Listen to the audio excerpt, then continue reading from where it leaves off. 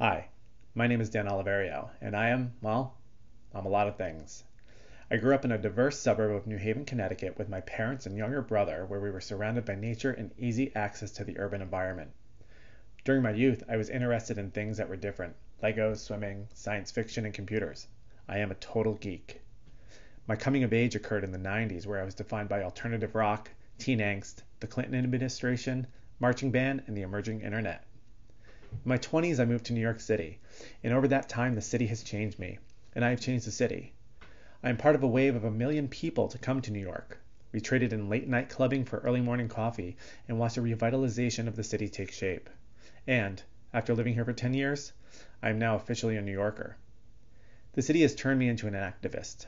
From pride marches to my involvement in Occupy Wall Street, where my passion for photography and my photojournalistic style took shape, and a small freelance business began as I started saying, I am a photographer. Motivated by this, I left a corporate career to pursue a bachelor's degree in communication design. The culture here encouraged me to start traveling the world, ultimately bringing me to Europe to study art history for a summer, reshaping me even more and deepening my love for people. Much of my art is inspired by the details of New York, from the neon lights that dot the streets, the complex transportation systems that weave throughout, the grit so many of us disregard, and the people who live and work here. I hope to continue improving my life and that of others through my photography and design work by doing everything with love, compassion, and a desire to be better every day.